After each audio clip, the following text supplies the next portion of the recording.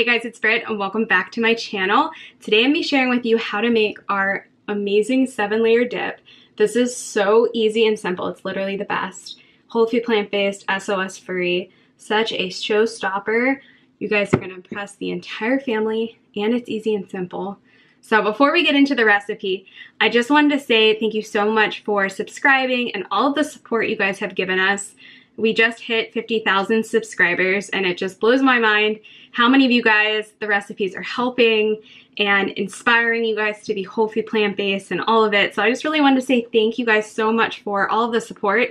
Um, we're going to do an awesome giveaway to celebrate. So in the show notes down below, you will see a Google form to fill out.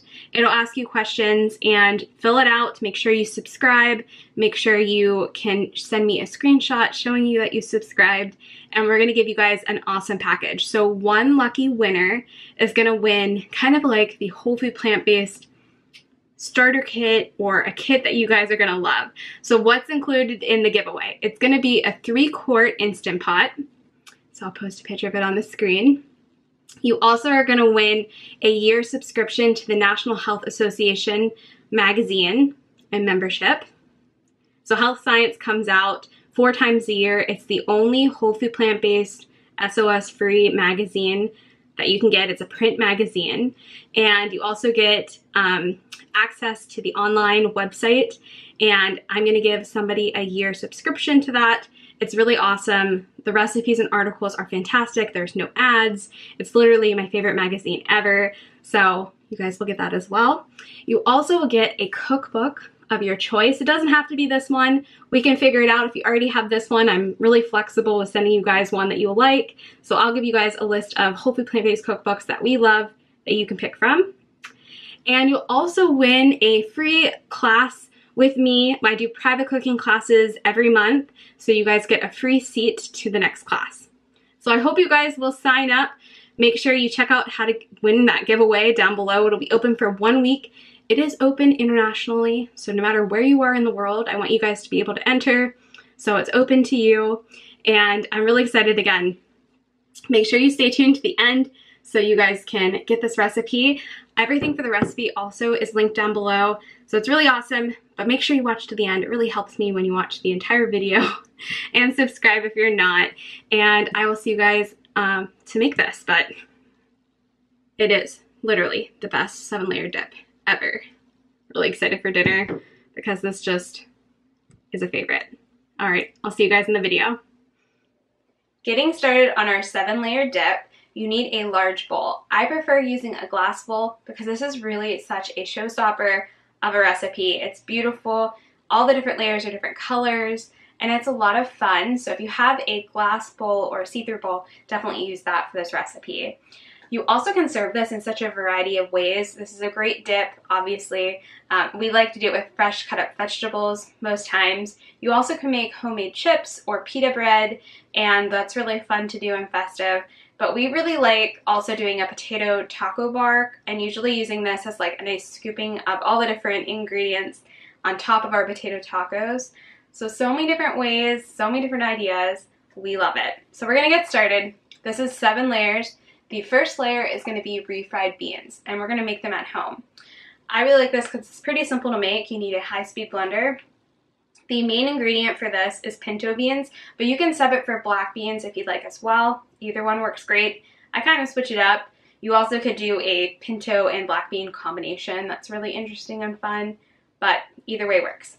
And you also can use beans that you've cooked from scratch or you can use canned beans for this. It's around three and a half cups of beans from either two cans that you've rinsed and drained or cooked from scratch. So I'm gonna add that to our high-speed blender.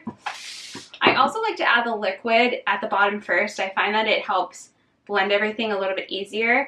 So I'm gonna use half a cup of water. I'm gonna put this in first. And then our other liquid for this recipe is some lime juice, and that is one teaspoon of lime juice. I will have everything written out down below in our show notes and on our website, so you guys can go over there and print it out, but Everything will be in individual categories of how to make this dip. All right, since the liquid is in there, we can go ahead and add those pinto beans or black beans, either one works. And then I have our spices and our miso. So I'm gonna add one teaspoon of white miso paste. That's our salt substitute. And I'm gonna add one tablespoon of onion powder and one tablespoon of garlic powder.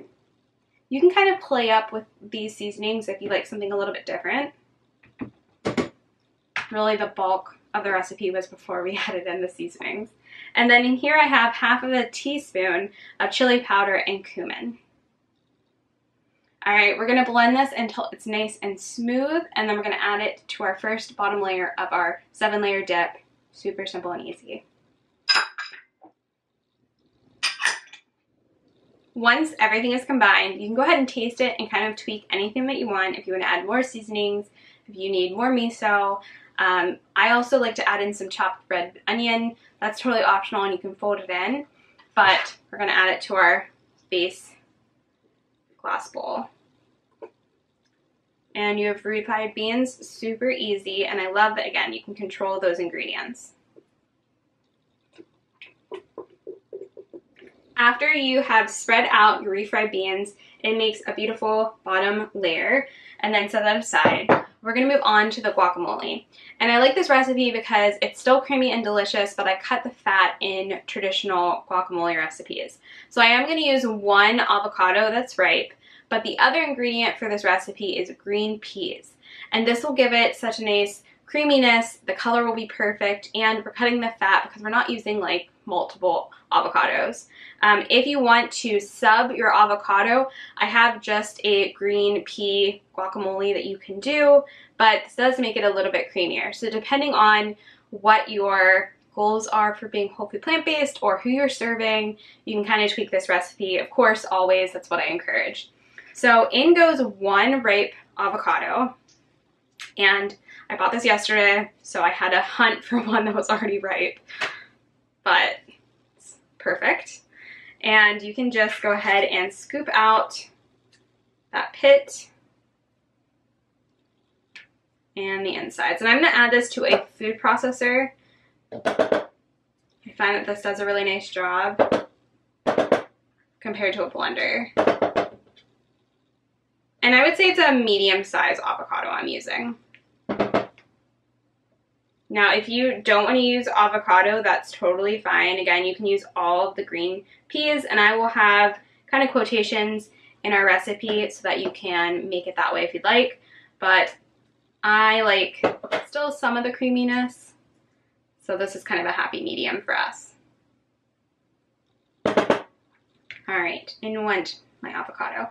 Up next is two cups of green peas. Now you can just take them from frozen green peas and thaw them and add them into your food processor. It doesn't have to be steamed or anything. All right, this is really simple. We're adding in one teaspoon of lime juice and one teaspoon of white miso paste. And then I also chopped up three scallions and I'm gonna fold them in after. So I'm gonna blend up our guacamole. I'll see you guys when the food processor makes it nice and smooth and then we'll fold in the green onions and that next layer is done. Depending on how chunky or smooth you like, you can keep the blender going, but it should really do it with ease. So I have my guacamole done. And what I'm gonna do now is again, I'm gonna take in those scallions. This is optional. You also can chop up a tomato if you'd like, or a red onion, really this whole recipe and all of our recipes should be customized to what you personally like. This is just how I make this, this dish. So just give that a nice toss, kind of mix it in. It's a very vibrant green color. And then you can make your second layer, which is awesome. Very easy and simple and so good. Oh my gosh, this tastes amazing. Even if you just want to make the guac on your own or the refried beans on your own, you can really deconstruct this whole dip and make so many other things from it. It's a lot of recipes, this, this one. All right. I like to kind of put it in all in the middle in a pile and then gently spread it out. That's kind of the method I find that works best.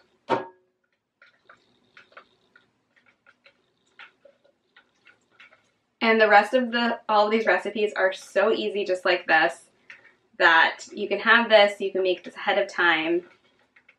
It really is so impressive of a recipe. All right, just gently kind of spread it so it's covering those refried beans that we made.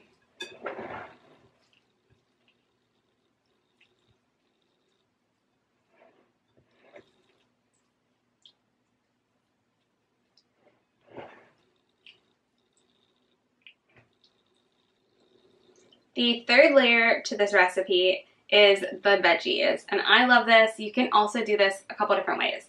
So in here I have one red onion that I've chopped. I also have three red bell peppers. You can do a variety of colors for that. Chopped and seeded. And then I also have some corn you can take from frozen and let thaw. This is two cups of, of yellow corn. So I love this variety of vegetables.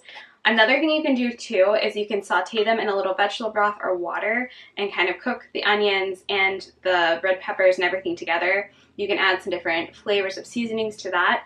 If you're going to cook them on the skillet and have them raw in this dip, I would let it cool completely before adding it in. That's just a warning heads up. So I'm just going to toss this to incorporate the corn, the red peppers, and the red onions and do whatever your family likes. You can always leave something out or change this up.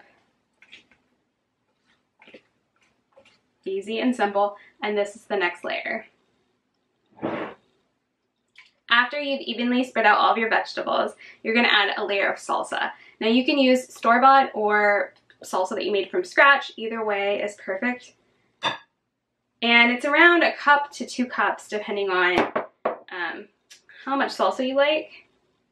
I usually do around a cup to a cup and a half. Just to kind of cover it because we're going to add a lot of liquid things now.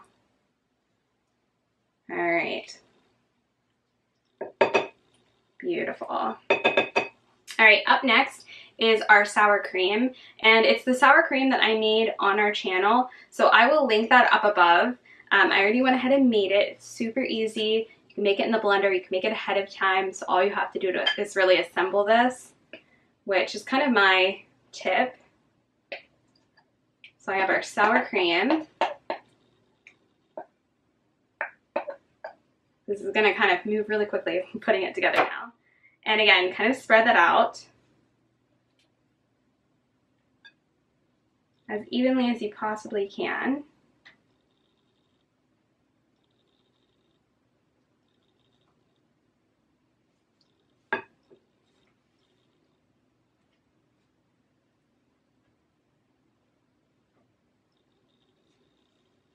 This is looking so good. I love this. And after that, we're gonna add our nacho cheese sauce. So again, I will link that up above. It's really easy and simple, just like the sour cream. You make it in a high-speed blender. Really easy ingredients, not a lot. I will have both of these amounts written out down below in our show notes, as well as on our website in that free printable PDF for you guys. So you guys don't have to take notes or anything, it's all written out. But just for this video not being super long, I went ahead and since I already have videos for those two made, I'm just gonna go ahead and add that. If you haven't tried the nacho sauce yet, it is very, very good. It's like so much flavor packed into your mouth. All right, again, try to evenly spread that out. Touching the sides so you can see it after it's all finished. And then we're gonna top it with some lettuce and the seven layer dip is done.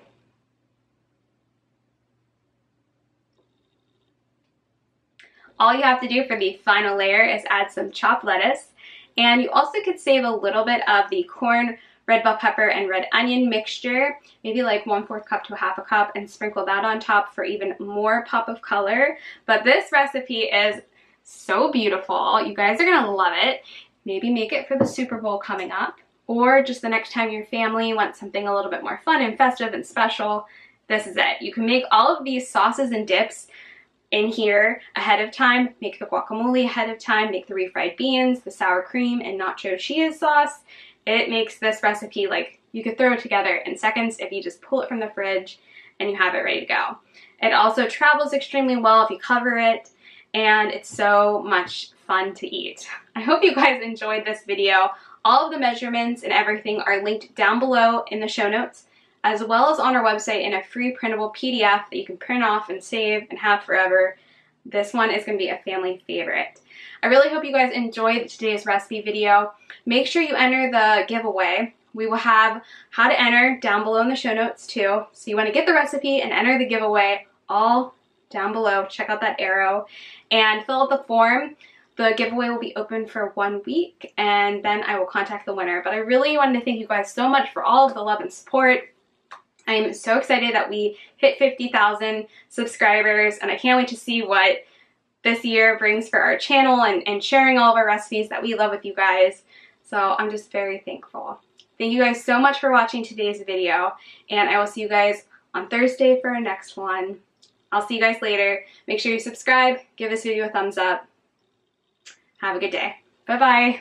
I'm gonna go dive into this. This is like, has some weight. It's pretty heavy. Can do some bicep curls. Bye.